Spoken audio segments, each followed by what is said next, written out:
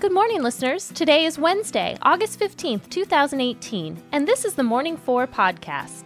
Each day, I cover three fun and interesting facts or tidbits and end with an affirmation with a twist. I hope that these few minutes we spend together get you started off on a positive track for the day. Visit morning4.com to see all of the day's sources and see my video pick for the day. So let's get started this hump day with Number one. Peace, Love, and Music. On this date in 1969, the Woodstock Music Festival in Bethel, New York kicked off. Early estimates of attendance increased from 50,000 people to around 200,000. But by the time the gates opened, there were closer to 400,000 people trying to get in. Those without tickets simply walked through gaps in the fence.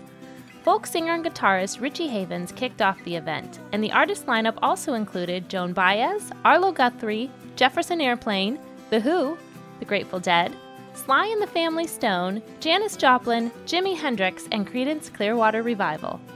The popularity of Woodstock is credited with the creation of later popular outdoor music festivals like Lollapalooza and Coachella. Number two. Fish gotta swim and birds gotta fly. I gotta love one man till I die.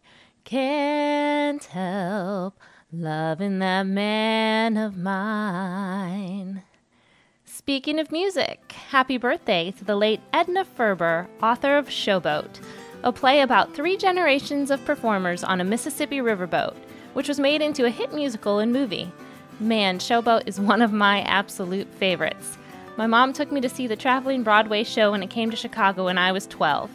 Really inspiring. So thank you, Miss Ferber. Number three. Our third tidbit today is more of a reminder to never sell yourself short and to know your own worth. Legend has it that when Julius Caesar was kidnapped by pirates, he demanded that they ask for more ransom than they originally had planned.